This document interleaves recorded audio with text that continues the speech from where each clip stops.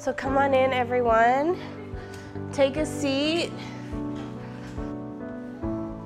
So welcome to Circle. We have a few guidelines to keep us going. So what we're doing today is a community building circle. It is a tier one practice in restorative justice. We do tier one circles to build community, to connect with each other, to practice speaking and listening in a different way. Say their name, say their name. Okay, what, what does the word say? Go ahead, What's, what does that mean to you? What I saw was missing is 100% of your community feeling part of the community. And many high schools, including this one, I've, I think there was a group of people who, who feel like they were the community and, and then everyone else was kind of left out. My name is Midori. Um, on a scale from 1 to 10, I'm feeling like a 7. How are you feeling from 0 to 10? restorative justice, we just come to a place where we hear every person's side of the story. Um, before I knew about RJ, I was a tough girl, like always fighting, getting into conflict. Like I was the one always fighting, going to the office, getting reflections, getting suspended.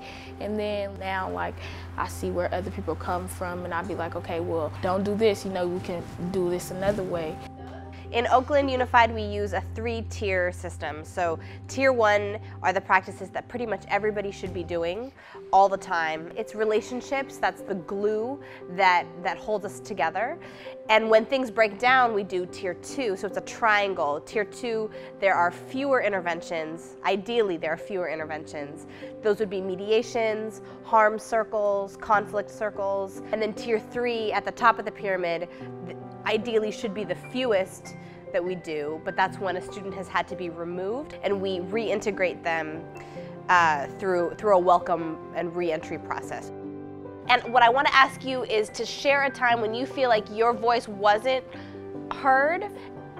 Can you use your voice as a young person in Oakland? Go ahead. Um, me personally, I feel like youth, we can't do anything about it. For example, like voting, like we didn't want Trump, but like, we couldn't do anything about it because we can't vote because we're not old enough. One time, I felt like my voice wasn't being heard because I was like really little, and these people had like robbed the store or whatever, and I saw the whole thing, but the, the people that was like doing the robbery wasn't paying attention to me because I was like a little girl. So I tried to tell the people what happened, and they didn't listen to me.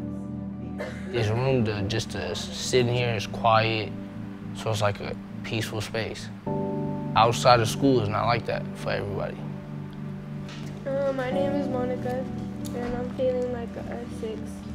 What restorative justice provides that traditional school discipline methods do not is the chance for people to take responsibility and understand the impact of their actions on others. It's internally driven. It has to be because I understand that there was something that I did that broke a bond here and that th this breakage is connected to other breakages that, that make all of us as a community weaker. The expectation of people to take responsibility for their actions is, is the way forward. I mean, that's the magic. That's the revolution that needs to happen. I appreciate him for being um, being my friend again. I appreciate Spencer because he always in a good mood every day. When I did the grief circle, I needed to talk to somebody. Because my mom passed away my ninth grade year when I was here. So all that weight that was on me, I told them. At the end, I finally cried. I let everything go. And that's what the best thing was. That was the best thing that that happened in like two, three years. Yeah, I mean, we're being a good friend. We should have friends playing basketball with us. For it to be this space, which is school, yes, that's powerful. That's powerful.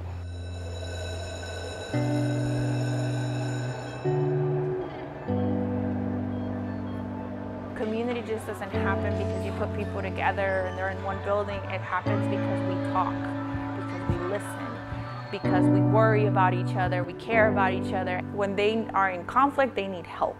They don't need us to just push them out. They need us to but bring them in. I appreciate Midori for listening.